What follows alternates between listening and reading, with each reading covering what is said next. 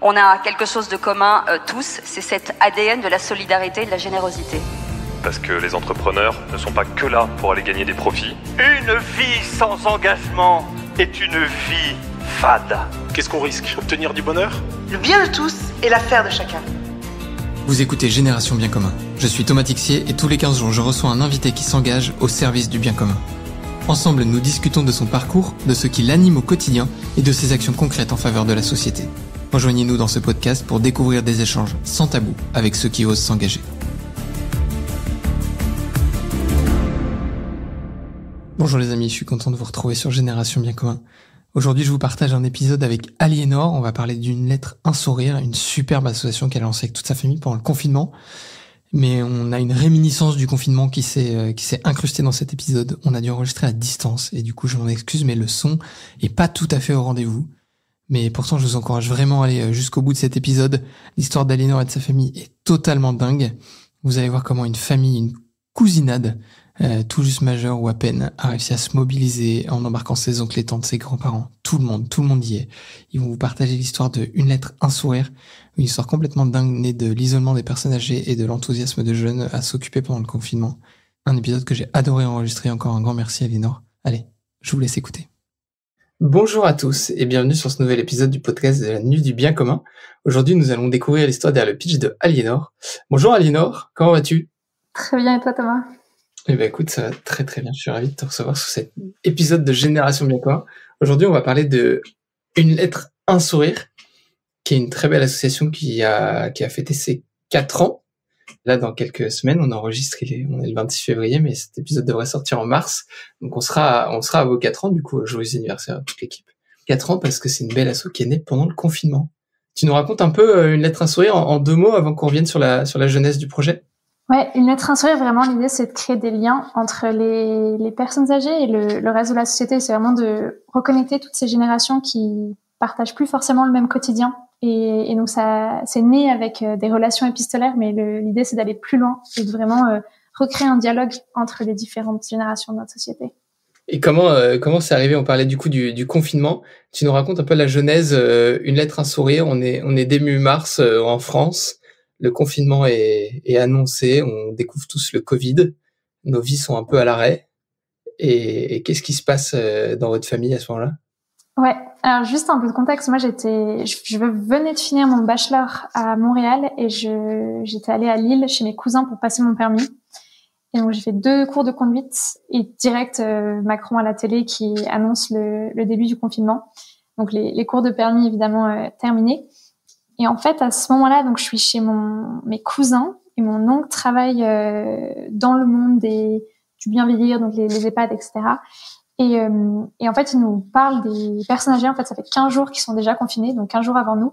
Et déjà, en 15 jours, il relevait ce fameux syndrome de glissement qui, en fait, quand les personnes âgées sont tellement seules, tellement isolées, elles finissent par en mourir. Et en fait, c'est mourir de solitude, mourir, euh, mourir de peine. Et, euh, et, en 15 jours, ils avaient déjà vu ces, ces, effets, ce qui est dramatique, quoi. 15 jours, c'est, c'est 14 nuits, quoi. Et donc là, on, on a eu envie d'agir et, et je pense notre, un peu notre incompréhension, notre frustration à ce moment-là, c'est que on sentait qu'il y avait un problème, mais que on était tellement impuissants. On nous demandait de rester chez nous et de regarder la télé, ce qui est trop sympa, mais on était là, euh, ouais, on est, on n'est pas médecin, on est, on peut, en fait, on peut rien faire. On était complètement démunis et on sentait que le, le sujet euh, nous concernait tous.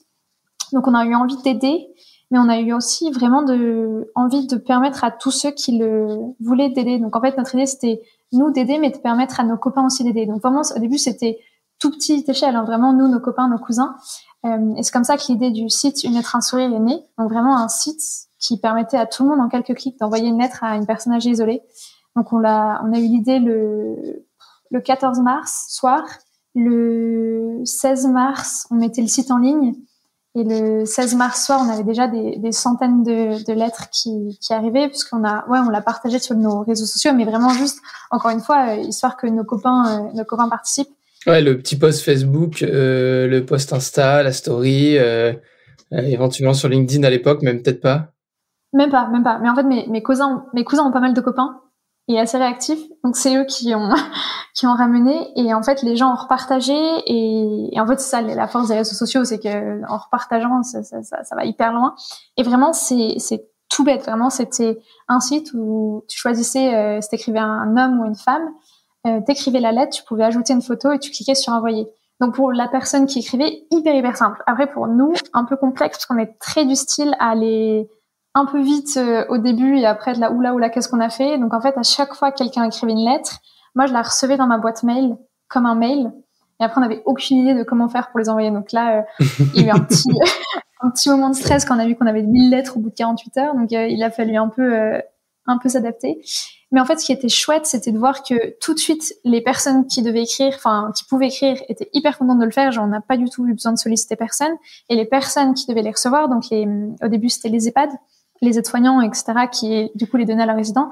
Pareil, on n'a fait aucun démarchage. Ils étaient hyper contents et ils en avaient envie, ça. Mais oui, on veut ces lettres. Et, euh, et en fait, nous, on était vraiment juste un intermédiaire entre deux personnes qui avaient hyper envie de d'interagir, d'interchanger, enfin de, de, de se rencontrer et, et de vivre ces, ces, échanges. Et ils avaient juste pas le moyen, quoi. Donc nous, on était vraiment le choper les lettres, les enfin passer les lettres, quoi. Et euh... un vrai boulot ouais, de donc ça fait.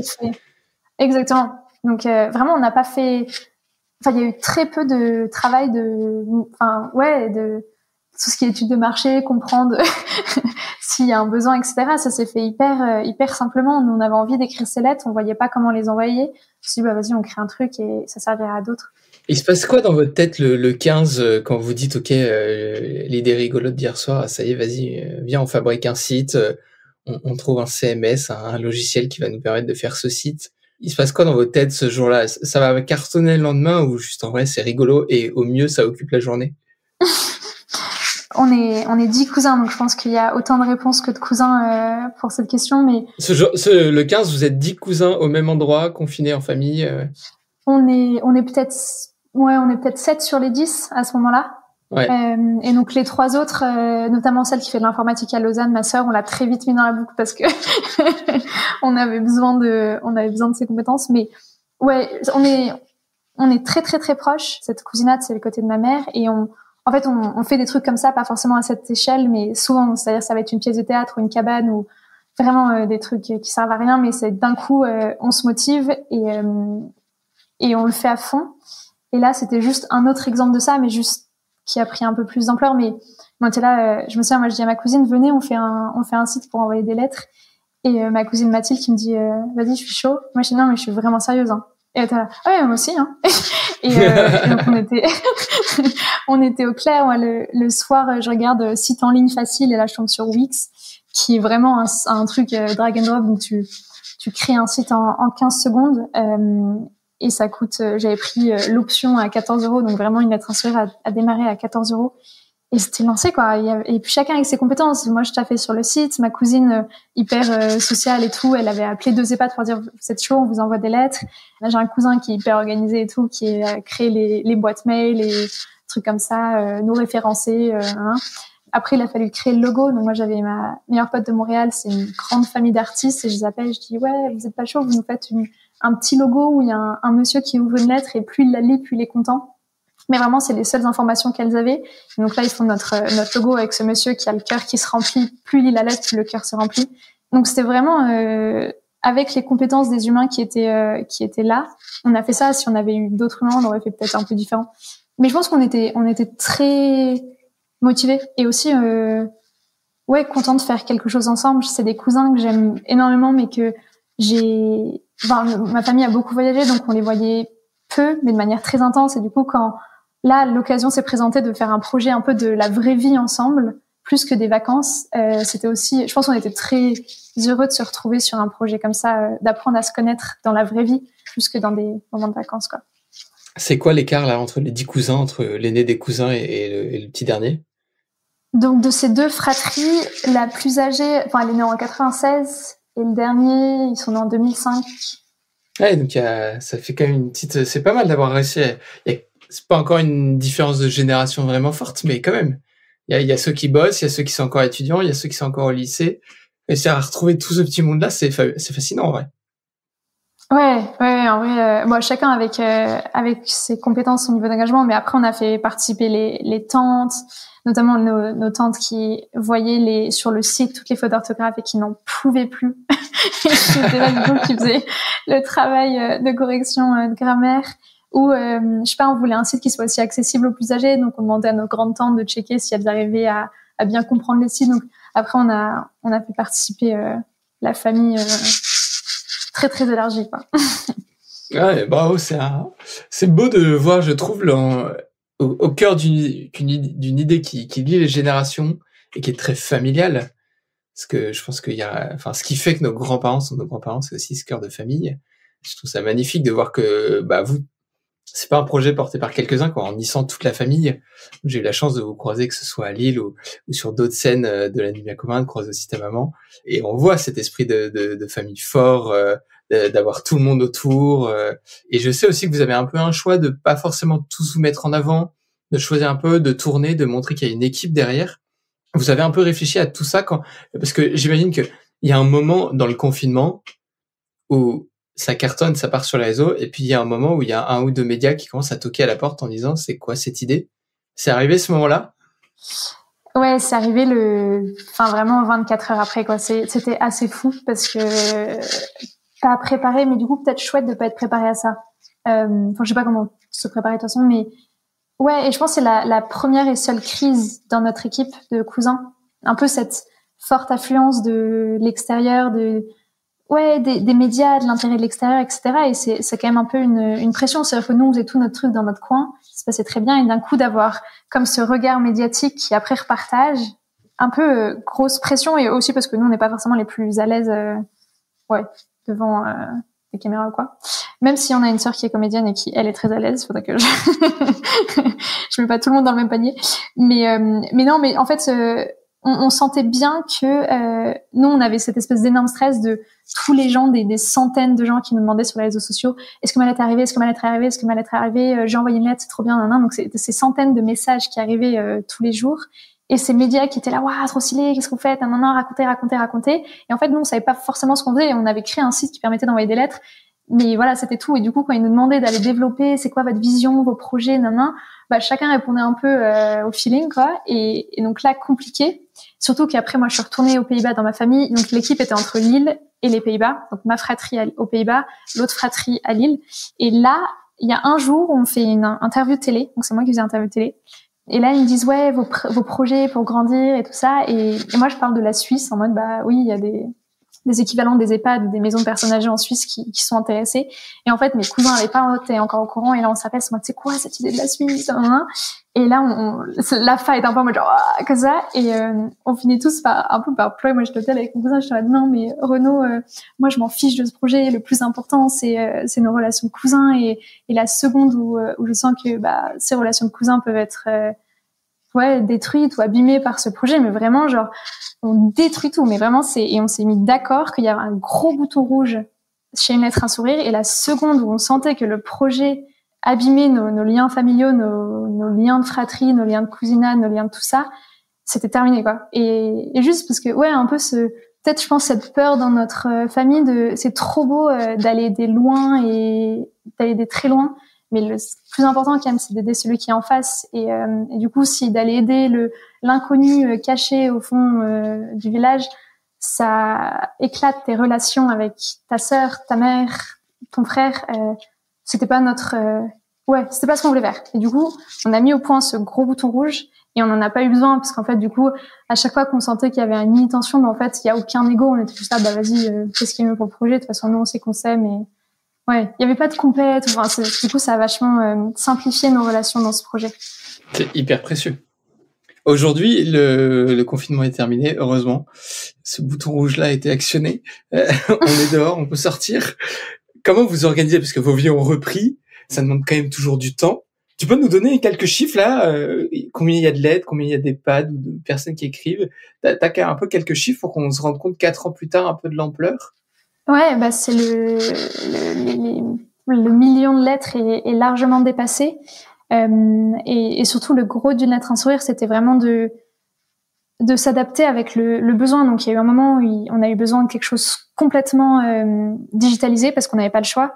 Et la seconde où les, les établissements de personnes âgées ont réouvert leurs portes, où les écoles ont réouvert leurs portes, c'était tout de suite de, bah, de concrétiser ces relations. Donc, aujourd'hui, une lettre un sourire, c'est un premier lien épistolaire, mais après c'est vraiment la, la, rencontre. Donc c'est euh, le gros projet en ce moment, c'est de jumeler tous les établissements seniors, donc ça va être les EHPAD, mais aussi les, oui, ça peut être aussi des personnes isolées à domicile, etc., avec une école, université, une entreprise. C'est vraiment connecter ces, ces mondes de la société qui finalement vivent de manière très euh, indépendante. L'une ou l'autre, ou l'idée c'est vraiment de, de, faire une, une équipe euh...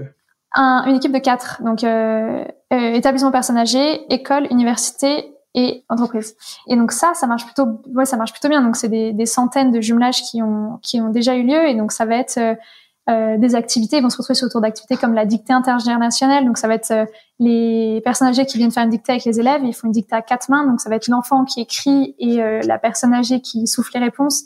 Et l'idée c'est vraiment de en fait que ce soit normal et que ce soit dans la dans le quotidien quoi que ce soit c'est rien d'exceptionnel et que en plus nous la dictée ça nous touche particulièrement parce qu'on est très nul en orthographe et qu'on a des, des souvenirs de, de, pleurs, des dictées larmoyantes, euh, voilà. Mais d'avoir cette euh, cette personne âgée qui va qui va aider et en fait, du coup, c'est un, un moment qui devient qui devient sympa et qui devient un bon souvenir pour l'enfant parce qu'il se fait aider et pour la personne âgée redonner un peu un sens à sa journée de ah ouais c'est ça je suis allée aider le la petite Julie euh, à faire sa dictée quoi et donc il y a des dizaines et des dizaines d'exemples il y a des tous les jeudis, il y a des équipes de, de jeunes euh, qui vont dans les EHPAD lire des lettres, juste raconter euh, ce qu'ils font. Donc ça, c'est une fois par semaine. Après, il y a des projets comme Go and Smile où en fait, c'est des jeunes qui font des aventures folles. Donc ça va être, euh, je sais pas, traverser. il y a une traversée Tour de France à vélo des EHPAD. Donc c'est une fille, Julie, qui fait le Tour de France à vélo et qui s'arrête toutes les soirs dans un EHPAD. Donc elle dort dans les EHPAD et pendant la soirée, elle leur raconte son histoire, ce qu'elle fait, pourquoi elle fait, etc. Et, et c'est juste un peu genre refaire cette espèce de mini lien euh, entre ces mondes qui se qui se voient pas trop. Comment vous l'avez trouvé, Julie? Je crois que elle nous a trouvé. Le projet Go and Smile, il a il y a eu pas mal de pas mal de projets du coup dans les les groupes de jeunes qui sont un peu euh, branchés projet fou. il se passe le mot, mais donc il y a une traversée une transatlantique là qui est qui est en cours. Il y a des gars qui ont fait Marseille-Bruxelles à pied euh, juste en, en, demandant aux gens sur leur chemin d'écrire des lettres et passer les déposer en EHPAD. Enfin, c'est une traversée de l'Europe, euh, de l'île jusqu'à jusqu'à la Roumanie, il me semble, en mobilette. Du coup, c'est un peu du bouche à oreille euh, des jeunes qui veulent faire un projet fou. Vous vous posez de temps en temps entre cousins pour relire un peu tout ça, pour réaliser tout ce que vous avez fait depuis quatre ans là? Ouais, ouais, ouais, on passe beaucoup de temps ensemble. Je ne sais pas si on, on, se pose de manière très officielle. On a ce qu'on appelle le Conseil des cousins. Donc c'est notre euh, notre nos groupes, tous nos groupes Facebook et tout ça. Et, euh, et quand on se retrouve, c'est le, le, conseil qui se rassemble. Mais c'est plus des hum, toujours un peu surréel. Genre on a l'impression de participer à un. On se sent pas forcément euh, comme c'est nous qui menions la danse, mais un peu genre on est là. On sait pas trop comment on s'est retrouvé là, mais on est trop content d'être là et on participe. Mais c'est c'est encore un peu fou. Et pourtant ça fait ça fait quatre ans, mais je pense que c'est cool de garder un peu la légèreté dans ce truc en se disant ça nous dépasse et pas essayer de tout contrôler quoi. C'est sûr que ma, ma mère pour le coup est, a une énergie créatrice euh, incroyable et, et, toutes ces idées là que je mentionnais, mais ces, ces jumelages etc.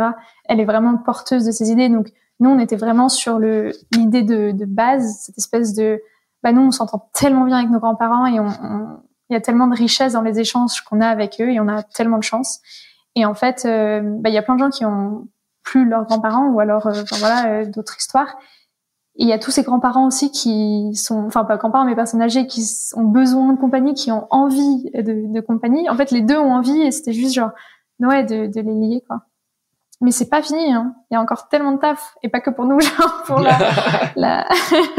Comment au quotidien justement là, toi tu, toi t'as un boulot aujourd'hui. D'ailleurs, je, je serais prêt, je, je reviendrai dessus après. Euh, aujourd'hui, comment tu fais pour y consacrer du temps et permettre que tout ça, ça avance? Tous vos cousins, là, j'imagine qu'ils ont tous aussi leur boulot à côté. Il y a du monde dans la famille qui est passé à plein temps juste pour une lettre, un sourire? Ouais. Alors on a on a fait un peu un, un système de, de relais. Ouais, à la fin du confinement, euh, bah il y a eu les impératifs de certains qui ont repris, je sais pas, les finir les études, etc. Les stages des autres. Enfin, il y a, y a eu d'autres impératifs, donc on a on s'est pas mal relayé. Vraiment le ce qui est trop chouette, c'est que ma mère maintenant travaille pour l'association à, à donc c'est elle qui qui mène la danse elle est comme nous. Enfin, du coup, c'est vraiment l'esprit du projet est resté. Et puis c'est trop chouette parce que ça, ça reste dans la famille entre guillemets où, euh, ouais, c'est. En fait, c'est facile de, de continuer à aider. Mais vraiment, euh, moi, donc j'avais un rôle très très présent, donc presque temps plein. Et là, depuis que, enfin, je travaille à Genève depuis un an, euh, c'est vraiment plus un rôle euh, des touches quoi. Donc il y a un événement, il y a besoin de venir participer, je vais venir participer, ou alors donner des avis sur une question. Euh, ça peut être des trucs importants comme des trucs pas du tout importants. Je sais pas des t-shirts, donner un avis sur euh, sur les nouveaux t-shirts ou choses comme ça. Mais c'est euh, ouais, c'est vraiment un, un, système de de relais. Et en fait, il fait partie de la famille maintenant le projet dans le sens où c'est partout quoi. Si on se balade chez nous, il y en a il y en a un peu partout. Donc c'est en fait en, en vivant on continue d'une certaine manière le, le projet. Enfin, il, il est c'est partie présente de notre quotidien euh, aujourd'hui. Mais bon, vraiment surtout ma ma mère qui est toute la journée euh, dessus, et puis après tout un, un, réseau de services civiques, stagiaires. Il y a maintenant il y a des employés qui, qui, travaillent aussi avec nous, donc il y a une équipe un peu plus euh, concrète, quoi. Un truc que moi j'ai réalisé et, et c'était un, un, grand apprentissage, c'est qu'au début, dans ma tête, je me disais, mais très naïf, je me disais, je veux qu'une lettre un sourire, ce soit toujours zéro argent. J'étais trop fière que ça ait commencé avec 14 euros et je me disais, je veux montrer qu'en 2020, c'est possible de encore faire des, des, choses grandes sans mettre des milliers, des cents, euh, des bataillons, des armées, etc. Genre, pour moi, c'était hyper important. Je montrais que, bah, un peu montrer que l'argent était important, mais, mais pas trop. et du coup, j'ai j'ai vraiment ce, ouais, cet, cet état d'esprit. Et en fait, très vite, ce que j'ai réalisé, c'est que, bah, une équipe c'est important. Il y a qu'en fait les humains qui, qui aident, ils ont besoin de vivre et, et que du coup l'humain qui aide, il a besoin d'être d'être payé et qu'en fait l'argent c'est pas que euh, mauvais, c'est aussi un, un moyen euh, de permettre à ces, ces, belles personnes de faire ce qu'elles font bien. du coup, je me suis réconciliée un peu avec l'argent, mais ça a été un, un combat un peu. Ah, du coup, tu as mis les doigts dans, dans le monde du, du, fundraising, de la levée de dons, euh, si, si, en vrai, qui est stratégique pour énormément d'associations, parce que effectivement, tu, tu peux faire des très belles choses et c'était magnifique. Ce enfin, c'est magnifique ce que vous faites avec une lettre à sourire, mais euh, heureusement qu'il y a plus que 14 euros aujourd'hui sur la table pour, euh, pour permettre d'aller plus loin, quoi, de, de faire plus, parce que vous avez une énergie débordante et, et il faut trouver tous ces mécènes qui, qui soutiennent et qui s'engagent. Moi, je suis convaincu que c'est aussi une manière de, de participer à l'œuvre que de la financer. Il y a ceux qui font, il y a ceux qui, qui ont les idées, il y a ceux qui ont les mains dans le cambouis, puis il y a, il y a ceux qui, qui, permettent tout ça en le finançant aussi, et chacun a sa part de responsabilité euh, tout aussi importante, mais qui n'a pas le, qui est pas sur le même terrain de jeu, même si à le, in fine on, on, sert tous le même but commun. Euh, là, en l'occurrence, bah, c'est de faire en sorte que de récréer du lien entre les générations. Euh. Vous avez créé un peu des, des partenariats avec des. De, depuis le début, je me dis, si, j'étais le service innovation de la Poste, je me dirais, Pétard, c'est l'idée qu'on aurait dû avoir pendant le confinement, quoi. On peut imaginer que c'est un peu leur cœur de métier et juste vous la créer de la de façon digitale. Mais en soi, tout ce que vous avez fait là, euh, si je mets un peu le côté un peu digital, vous avez fait gagner du temps. En fait, les gens auraient pu juste écrire des lettres et les poster à les pattes du coin euh, et on aurait sensiblement une lettre, un sourire euh, au bout de la porte. Il y a des institutions comme ça qui ont eu envie de faire des partenariats ou vous-même vous avez eu envie de vous rapprocher d'elles. Ouais, ouais, ouais. Moi, la Poste, c'est vraiment un partenariat. Il y a, on a fait quelques trucs, il me semble, au, tout début, on a pas mal, on a un peu échangé, mais oh, mais on était, on était nuls. Genre, en fait, on savait pas de quoi on avait besoin. Ça, c'est un gros truc. Si tu veux que les gens t'aident, euh, il faut savoir de quoi, enfin, où t'as besoin d'aide, quoi. On peut pas t'aider si tu sais pas ce dont t'as besoin. Et donc nous, on disait ouais, on, on voudrait faire un truc avec vous. Et c'est là, bah, vas-y quoi? Et on était là-bas, on sait pas. Et, euh, et la Poste, moi, c'est un partenariat qui me toucherait à cœur potentiellement parce que bah, déjà, tout bête, hein, mes arguments sont un peu un peu légers, mais logo, ils sont jaunes nous aussi. Je trouve ça chouette et c'est un peu une coïncidence. Et puis surtout, la Poste, pour moi, c'est un peu encore un de ces, enfin, c'est pas que moi qui dis, mais c'est prouvé, ça fait partie des, des derniers liens sociaux de beaucoup. La Poste, la pharmacie et le commerce du coin, quoi. C'est la caissière. Quand tous les liens sont rompus, quand il y a plus d'amis, il y a plus de famille, c'est les derniers liens qui restent avant l'isolement total. Et, et du coup, c'est ouais, c'est tout bête parce qu'en fait, ils font pas ça. Ils font, ils envoient des lettres, ils font de la, le transport de courrier, mais il se trouve qu'en fait, ils ont un rôle tellement important dans la société. Ces facteurs qui se baladent d'une maison à une autre, bah, finalement, c'est des tout comme des anges gardiens qui vont checker les, les maisons, quoi. Et même les, les personnes qui vont à la poste, donc ces, ces personnes âgées qui, au final, euh, restent trois heures, bah, en fait, c'est parce que c'est, c'est le, le, dernier lien, quoi, qui est tellement précieux. Et ouais, donc moi, la, la poste, euh, je trouverais, je trouverais ça très chouette. On a, on n'a pas fait, mais avec d'autres. Euh... Ouais, en fait, on a vachement réfléchi au début comment on fait pour envoyer ces lettres.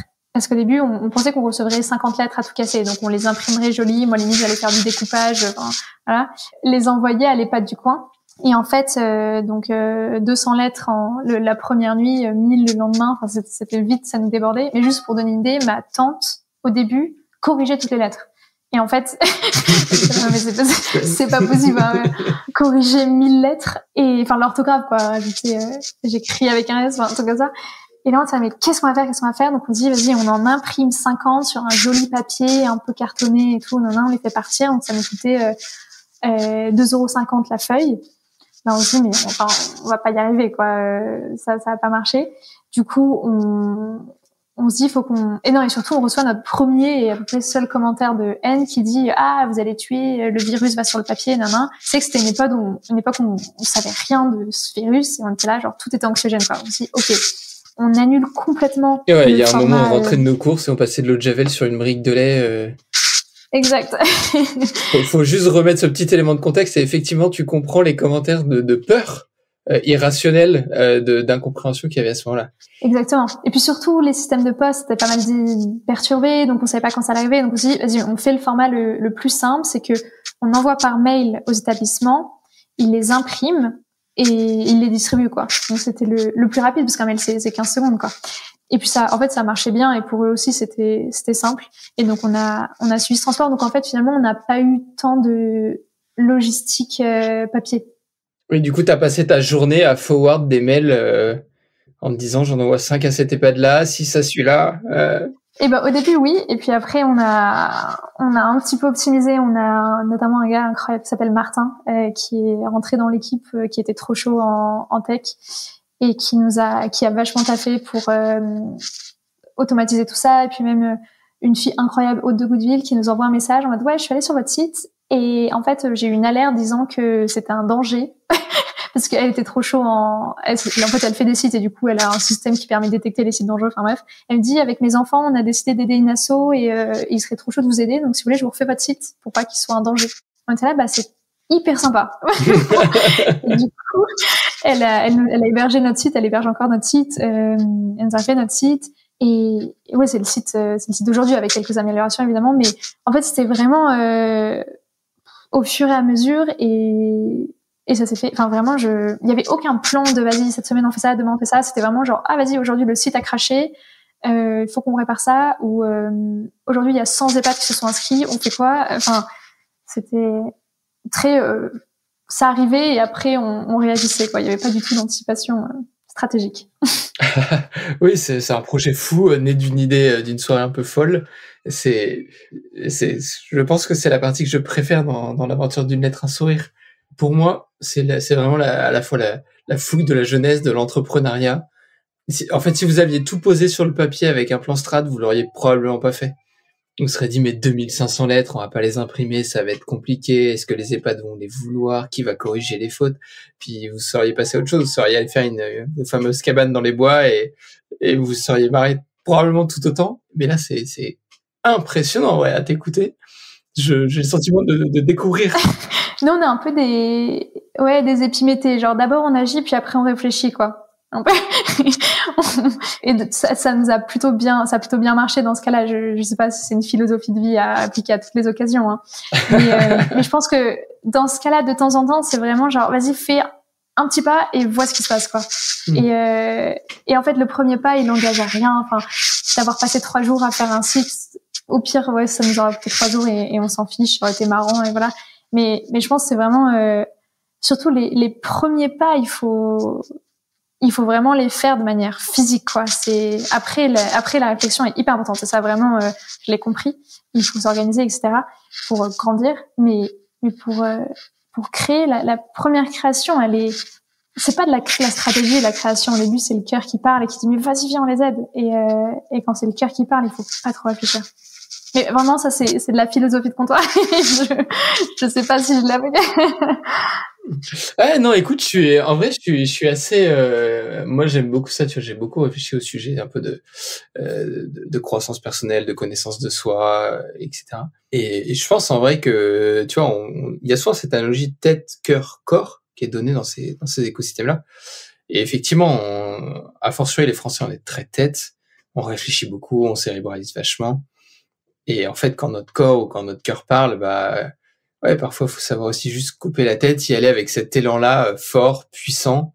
Et comme tu dis, la stratégie ou, la tête, euh, dans ce sens-là, elle finira par revenir. Elle, a son rôle à jouer, mais, mais parfois pas au démarrage. Au démarrage, elle peut plus être un frein qu'un accélérateur. Et, et, tu vois, d'ailleurs, elle revient un peu pour vous euh, à ce fameux moment bouton rouge.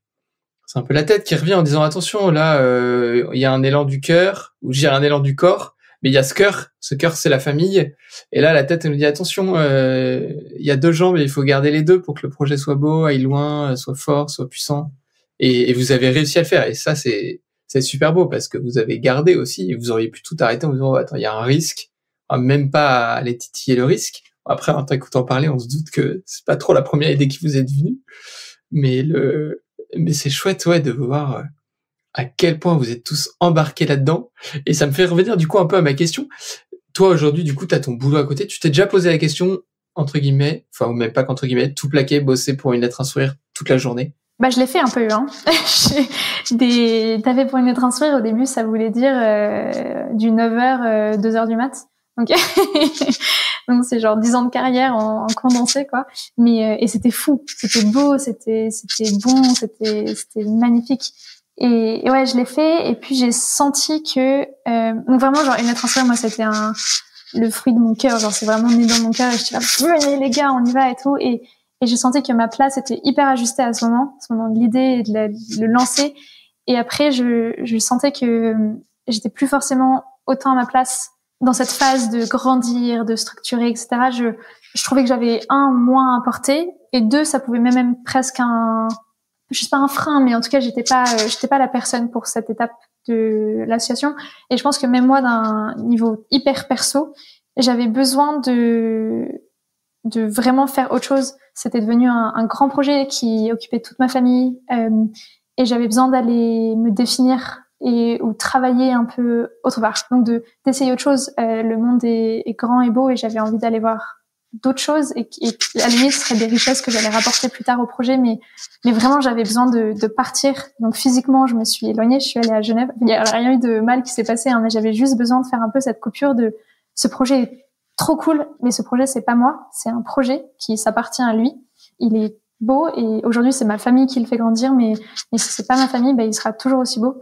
Et je voulais pas euh, un peu créer ce presque attachement malsain entre le projet et moi ou le projet et nous. Euh, le projet il est ce qu'il est, il est trop beau. Il... Ouais vraiment, il a été lancé pas nous, mais c'est c'est pas nous. Euh, et je pense que dans notre famille on partage pas mal cette peur de de ce que l'associatif peut faire aux humains. Enfin, pour moi, l'associatif, c'est à la fois trop beau et trop moche, et c'est comme tous les trucs, c'est plus c'est beau, plus ça peut être moche. et, et, je pense qu'on était hyper vigilants à, ouais, un peu ces espèces de héros associatifs qui au final sont des personnes horribles, ou mais et encore c'est un exemple hyper intense, hein, c'est pas du tout la, la grande majorité, mais je pense que nous on avait été pas mal confrontés à ça et qu'on avait envie de rester très très libre par rapport au projet. Quoi. C'est un projet qui est trop beau et on est tellement fiers et contents de le porter, mais on mélange pas tout. Quoi. Si le projet disparaît, on, on continue à être bien heureux, épanoui, euh, la vie continue. Quoi. Tu fais quoi aujourd'hui dans ton, ton quotidien, ta, ta journée type là euh, à toi C'est ça ressemble à quoi à peu près? Du coup, je suis data scientist chez Procter Gamble à Genève. Donc c'est de, je fais des modèles euh, algorithmiques pour une compagnie qui vend de la lessive et des shampoings. c'est un peu éloigné de notre un sourire. Et donc je, je me réveille, je vais euh, dans ces bureaux euh, qui donnent sur le lac, donc c'est magnifique. Ah, ok. Euh, ouais, je travaille et, et j'ai la chance d'habiter dans cette ville qui est connecté à, à, sa nature, donc avec euh, une vue sur le lac constamment, les montagnes pas loin, donc c'est c'est tout doux, tout calme. Euh, y a, on est 10 habités à Genève, donc on se croise tout le temps. Enfin, j'exagère, mais on n'est pas nombreux. Et ouais, donc c'est un métier qui est très euh, corporel, genre vraiment euh, sans sans sens aucun, et c'est vraiment ce que je recherchais. J'avais je pense que j'avais fait beaucoup de l'extrême de l'associatif et c'était trop ouais. bien, j'ai adoré. Et j'avais besoin d'aller faire l'autre extrême, je pense, pour euh, contrebalancer et même moi de me définir euh, sans être celle qui euh, a créé une asso avec sa famille. Oui, un truc moins visible, quasi. Le, le, à la, la data, tu, ça pilote des décisions stratégiques, mais c'est ceux qui pilotent la décision qu'on va voir, qui vont être en lumière. C'est rarement euh, toute l'équipe qui leur a fourni les données qui a permis de prendre la décision. Ouais, donc effectivement, aujourd'hui, tu as, un boulot, j'allais dire, de, de l'ombre, entre guillemets, si je peux le dire comme ça, de service, toujours. Ça, on le retrouve, je trouve, aussi dans une lettre à sourire, parce que finalement, vous êtes des passeurs. si je te fais un gros trait, euh, je vais me faire engueuler par mes potes. mais tu passais des lettres, aujourd'hui tu passes des, tu passes de l'information via, via de la data. C'est quelque chose que t'as, que tu mets aussi un peu au service d'une lettre un sourire? Tu fais un peu de data de l'autre côté ou, ou en vrai ton, ton métier et ton, et l'univers associatif se mixent pas? Si, enfin, vraiment pour moi l'informatique, enfin l'informatique que je fais, je- la science m'intéresse peu. C'est vraiment le, le moyen, enfin c'est un moyen chouette, je trouve. Ouais, c'est des outils qui peuvent être appliqués à tout, quoi. Et je trouve ça, là, je les applique à des shampoings, mais ça peut, ça peut vraiment, euh, c'est, oui, c'est vraiment un outil, quoi. Et du coup, avec une lettre instruire, on avait fait un projet trop chouette avec un labo aux US. Donc c'était de de regarder un peu le, le contenu des, des lettres, c'était de comprendre un peu les, les intentions euh, derrière ces lettres, etc. Donc c'est un, un projet avec un labo qui travaille sur le bonheur. Et en fait, ce qu'on a réalisé très vite, je, je pars un peu dans tous les sens, mais ce qu'on a réalisé avec l'écriture de ces lettres, c'est que en fait, les personnes qui écrivaient avaient envie d'écrire parce que elles aussi souffraient de cette solitude et qu'en fait, on a eu des, des milliers et des milliers de retours de personnes qui nous écrivaient en disant mais en fait, c'est pas une lettre un sourire, c'est une lettre de sourire parce que pour nous aussi c'est important et pour nous aussi c'est c'est vital quoi de communiquer, d'échanger et, et notamment beaucoup d'étudiants qui étaient bah, ces fameuses images d'étudiants dans des chambres euh, minuscules euh, sans aucune interaction avec l'extérieur. En fait, c'était c'était un lien euh, tangible avec euh, l'autre et tangible dans le sens où c'est une lettre quoi. C'est la, la personne te tient, te, te, te lie avec cette feuille. Et du coup, on a eu envie de, de comprendre un peu cette espèce de de, de, de mal-être, de, de souffrance liée à cette solitude. Et en fait, ces lettres, c'est vraiment une, ouais, elles, elles reflètent tout ça. Donc ouais, un peu mis au, service ces compétences informatiques pour euh, pour ces sujets. Et euh, mais c'est pas le, le gros de de ce que je fais, mais ouais. Ouais, tu, tu, ok, tu vois les deux. Marrant. Et euh, là, le- un peu la, le- la suite pour toi avec euh, à, la fois un peu, euh, maintenant tu, j'allais dire que la, la stratégie est rentrée dans, dans une lettre, un sourire. Tu, tu regardes un peu euh, l'avenir en te disant comment je compose mon temps pour euh, être à bord aussi un peu de l'œuvre. C'est une question que tu te poses ou j'allais dire tu, tu réfléchis comme comme le 14 mars euh, à fond dans l'axe du moment et puis euh, advienne que pourra. Ouais, plutôt la deuxième option. Euh, trop contente d'aider. Je pense que là, ça roule comme ça aujourd'hui et, et vraiment, euh, moi, j'ai aucune. euh, j'aurais envie. Enfin, évidemment, j'aurais envie d'aider et en même temps, je voudrais pas. euh, faut que ça se fasse naturellement, quoi. Si je dois revenir à, à 100% dedans, bah, ça se fera et, et sera trop bien. Mais je, je vais pas le provoquer ou le, le planifier. Je pense pas. Mais je serais hyper contente. Quand- Quand tu regardes toute cette aventure là derrière toi, c'est quoi le Qu'est-ce que tu as retiré de plus fort pour toi? Là, dans, si on, on est bientôt aux 4 ans là, quand on regarde en arrière un peu. Hmm. Je pense que c'est pas mal de choses, mais notamment la l'envie, enfin notre envie en tant qu'humain de de ouais de d'être lié, d'être en lien. Et en fait, c'est tout le monde, on a tous tellement tellement cette espèce de besoin vital de de connaître, d'aimer, d'être aimé, enfin toutes ces choses qui sont tellement euh, banales, mais qui sont vraiment au cœur de tout. Et et c'est quelque chose qui arrive à la naissance et qui est là jusqu'à la jusqu'à la fin quoi et, et ce besoin d'être avec les autres et ce besoin d'être écouté ce besoin d'être entendu ouais et en fait je pense vraiment ce, ce truc de au début nous on avait un peu ce, ce syndrome de sauver sauveur où il y avait euh, les jeunes qui allaient écrire pour les personnes âgées donc les jeunes qui allaient aider les plus âgés donc les jeunes pour les plus âgés et en fait mais vraiment en, une semaine euh, tout l'équilibre s'est rétabli et c'était pas euh, un pour les autres, c'était vraiment les uns avec les autres. Donc les, en fait, quand, quand tu parles, tu as besoin de quelqu'un qui écoute, et quand tu as quelqu'un qui écoute, tu as besoin de quelqu'un qui parle. Enfin, cet équilibre, il est vital. Et, et du coup, c'était, ouais, que la vie est tellement bien faite, quoi. Il y a, y a des jeunes qui ont plein d'énergie, qui ont des trucs à raconter, qui ont envie de parler. Il y a des personnes qui sont fatiguées, qui ont juste là envie d'écouter. Et c'est, c'est tellement, tellement facile. C'est tellement bien fait, l'humain, la vie, tout. Et c'est juste un peu remettre, repermettre un peu cet, cet équilibre, quoi. Il y a un, un truc, au, un, un professeur euh, de recherche à Stanford aux États-Unis que, que j'aime trop, qui s'appelle Mark Freeman et qui écrit plein de livres là- là-dessus, qui s'appelle euh, le son livre le plus connu c'est How to Live Forever notamment, qui, qui parle de ça en fait, c'est cette espèce de cet écosystème humain qui est hyper bien fait, qu'il faut surtout pas euh, trafiquer, parce qu'aux États-Unis ils créent notamment des espèces de, de villages qui s'appellent Sunshine Valley, des trucs comme ça. En fait, il y a que des personnes âgées, donc le- la moyenne d'âge est de 75 ans, et en fait, en mettant que des personnes âgées entre elles, ça comme biaise la norme. Donc la norme, au lieu d'être à 45 ans, dont l'âge moyen, bah, d'un coup, il devient 75. Et du coup, en ayant 60 ans, tu te sens hyper jeune et ça te permet de ne pas avoir cette espèce d'angoisse du temps qui passe, etc. Et donc c'est un peu des, des personnes âgées genre vraiment, genre dans des villages, ils ont leur boulangerie, leur supermarché, leur cinéma, etc. Et il de ça et en fait à quel point c'était nocif pour la société américaine qui avait tellement besoin de ce, ces liens de transmission, ces liens intergénérationnels, enfin que les humains avaient besoin de se voir, enfin on a besoin de, de croiser une personne âgée, c'est vraiment un besoin vital presque, et on a besoin de croiser un bébé, enfin c'est l'équilibre de la vie. Naturellement c'est hyper bien fait et que ça nous permette que ça, ça continue, quoi, qu'on on se voit, on se parle, etc. C'est ouf ce que tu dis là. C'est hyper profond, ouais. tu, tu, ce, ce, sens de, de l'intergénération avant le, avant le 14 mars, tu le, c'était, étais sensible à ça, toi, naturellement? Ou pas outre mesure? J'étais très sensible à la solitude.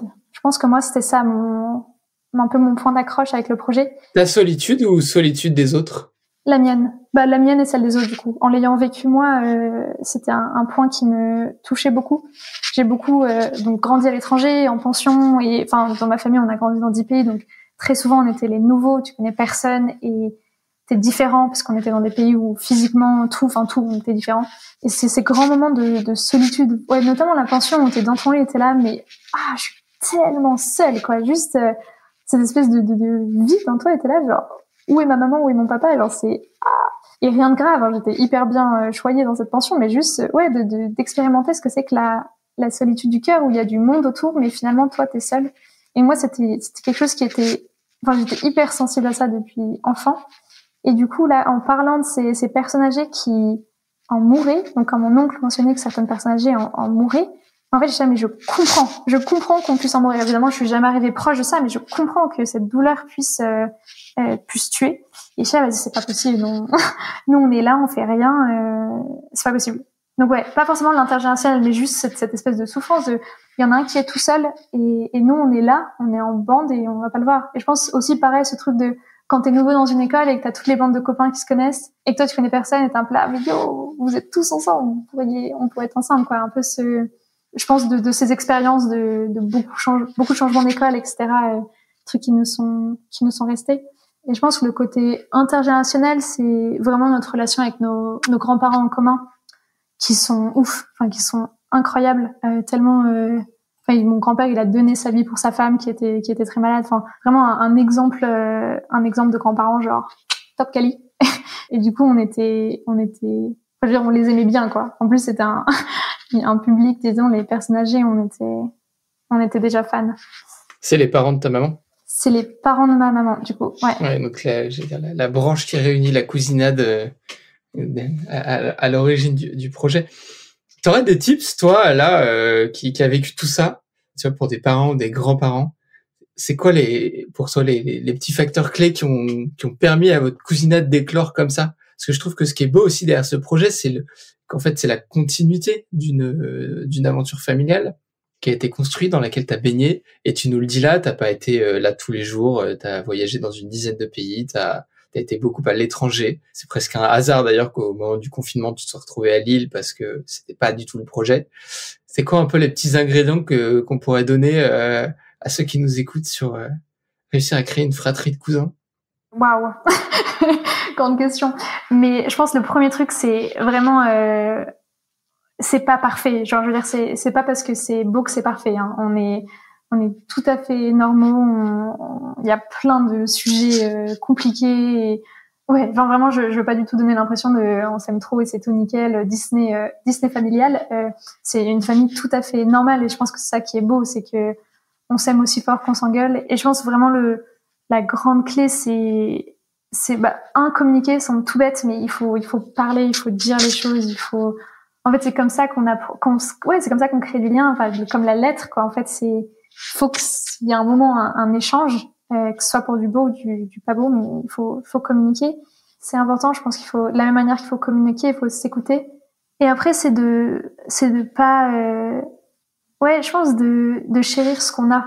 Je veux dire notre notre famille, elle est tellement loin d'être parfaite. Mais vraiment, euh, je peux sortir les casseroles. Mais on peut faire un podcast entier sur les casseroles. Mais elle est tellement, tellement, tellement fragile de plein de manières. Mais il y a aussi des, des parties qui sont trop belles. Et je pense que on a eu la chance de mettre beaucoup d'énergie et d'amour dans les parties qui étaient belles et de les déployer du coup.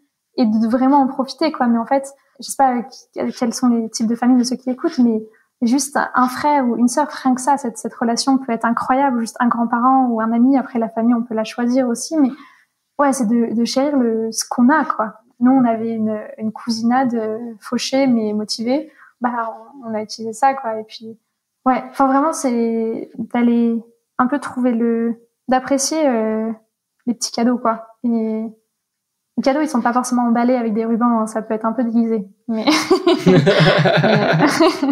temps en temps, ça a pas l'air d'un cadeau et en fait, c'est un cadeau.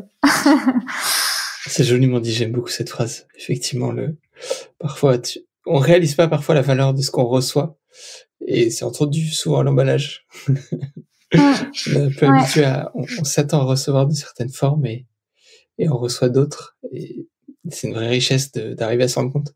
Je suis bluffé, Alénor, dans notre échange de la maturité, du recul que tu as sur, euh, sur toute cette aventure de vie, qui est... Euh, on n'a pas non plus 10 000 ans d'écart, hein, mais le, tu, tu, en parles avec une, une, profondeur de, de, de, celle qui a réfléchi et qui, qui a quitté, j'allais dire, l'enjeu tout feu, tout flamme du démarrage. Tu es hyper posé sur le projet avec tout ce qui porte. Et, je sais que c'est c'est le cas de nombreux d'entre vous euh, pour en croiser euh, travers de la nuit du bien commun euh, de ci de là. Et ça, c'est une vraie, une vraie qualité que vous avez chez une lettre un Et je pense que ça, ça fera partie des éléments qui font que le projet vivra longtemps, que ce soit à travers vous ou, ou transmis, parce que je sais pas de quoi sera fait demain pour une lettre un sourire, mais mais ça se perçoit dans la manière dont tu dont tu racontes l'histoire et ça ça donne un vrai gage de, de crédit, de confiance et, et, merci pour cette parole euh, vraie, sans Cash. ouais, ça compte, ça compte. Merci en vrai pour tout, ce, pour tout le fond de cet échange au-delà de, au-delà de ce, ce, petit trait. Merci pour ta sincérité. Merci d'avoir pris le temps euh, de venir euh, au micro de Génération Bien Commun pour nous raconter un peu l'histoire de, d'une lettre, un sourire. Est-ce qu'il y a une question que je t'aurais pas posée ou, ou qu'on te pose rarement autour de ça et à laquelle tu as envie de répondre? C'est la question piège finalement. ouais, je pense c'est, je pense que c'est la question. C'est un peu absurde ce que je veux dire, mais est-ce que tu y crois? Genre, est-ce que moi je crois en projet? Parce que souvent, comme je suis celle qui représente, bah, j'essaye de le vendre. Enfin, pas le vendre, mais tu vois, je hmm. suis celle qui essaye de le, voilà. Et un peu genre, mais tu crois Tu crois que ça fait quelque chose, ça marche? J'en sais rien, un peu, un peu ce truc de. Et ouais, et je suis trop contente parce que j'y crois. Et j'ai beaucoup réfléchi. Hein. Est-ce que j'y crois? Il y a plein de trucs qui vont pas, etc. Et, et en vrai, je suis contente parce que c'est c'est vrai. Et ça, c'est, je pense, une des trucs les plus cool, c'est que ouais, c'est pas parfait, mais mais ça marche quoi. ça c'est clair, ça marche. Un million de lettres, c'est quand même impressionnant. Non, en vrai, bravo, bravo à toi et bravo à toute l'équipe. Le, le y croit, j'avoue que effectivement, quand on t'écoute, on a la réponse t'as une, t'as une fougue, t'as une énergie pour en parler euh, qui, est, qui est hyper chouette. Et ouais, c'est impressionnant. Je suis, je suis sacrément bluffé de, de, ce petit projet en vrai. J'ai envie de conclure en souhaitant, euh, en vrai, en disant bravo et merci à, tous ceux qui vous ont aidé et à toute ta famille d'avoir eu l'audace euh, ce 14 mars d'avoir l'idée et ce 15 de la concrétiser et, et d'être toujours là à tenir la barque, à rajouter des idées à aller plus loin et aussi à vous en détacher, sans être jamais très loin, mais en même temps, voilà, prendre du recul. C'est essentiel, tu l'as dit tout à l'heure, mais le, rôle de fondateur, euh, c'est de savoir partir. Je pense que c'est la mission, la, plus grande mission d'un fondateur, c'est de savoir partir. Parce que de toute façon, la vie fera qu'un jour tu partiras. Donc, euh, tu peux le choisir ou le subir. Et, et, je trouve que vous arrivez à trouver, là, avec toute l'équipe et toute la famille, un, un juste positionnement entre euh, élargir, avoir des salariés, des bénévoles qui vous aident et tout. Donc bravo pour ça. Et, et merci pour ce bel échange. Merci Thomas. Et chers amis, je vous redonne rendez-vous euh, dans 15 jours pour un autre épisode de Génération Bien Commun, le podcast de la nuit du bien commun. On découvrira de, de nouvelles histoires passionnantes, portées avec autant de, de charisme, de joie et, et de fougue euh, que celle d'Aliénor aujourd'hui. Merci d'avoir suivi cet échange, j'espère qu'il vous a plu. N'hésitez pas à vous abonner à notre podcast et à lui mettre une note de 5 étoiles sur les différentes plateformes d'écoute. Ça nous aidera à le faire connaître. Retrouvons-nous dans 15 jours pour un nouvel épisode de Génération Bien Commun, où nous continuerons à vous partager les témoignages de ceux qui s'engagent au service du bien commun.